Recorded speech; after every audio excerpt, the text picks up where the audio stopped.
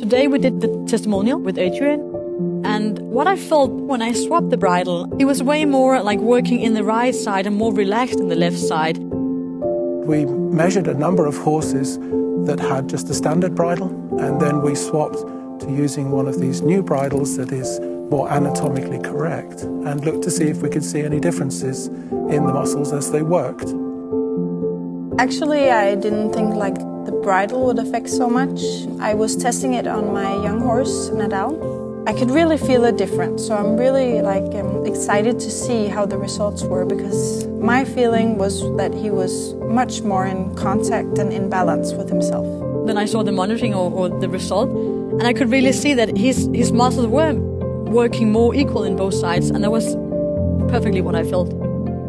So yeah, from today, it was quite fun for me to go back again and test the finesse bridle on Bohemian. I think what we have been able to measure is a much more efficient, coordinated use of muscle function, a more balanced use of muscle function.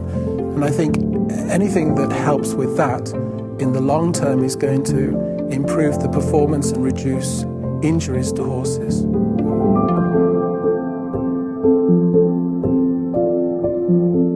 When I had the finesse bridle on, then after the jump he started coming more in control of himself and not running after the jump. And it was the same bit, just different bridle. So it was uh, really, it had a big effect on him.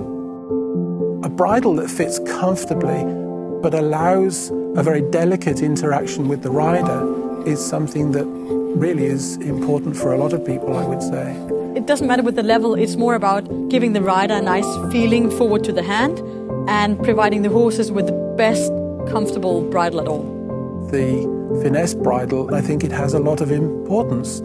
First of all, if we can train and exercise and play with horses in a, a way that's not painful or discomforting to them, that would be ideal. But imagine being able to have finer control of the horse that you're working with.